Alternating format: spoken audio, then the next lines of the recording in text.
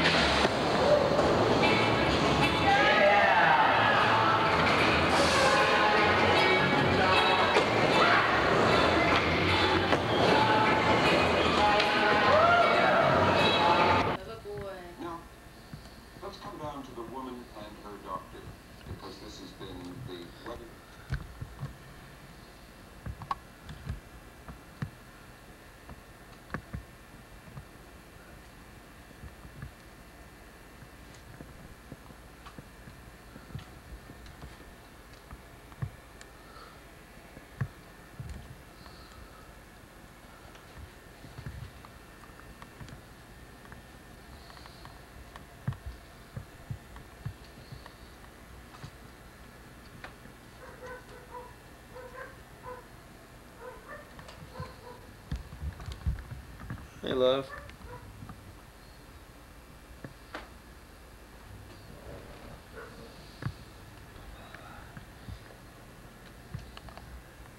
Freedom Day coming soon, Bob.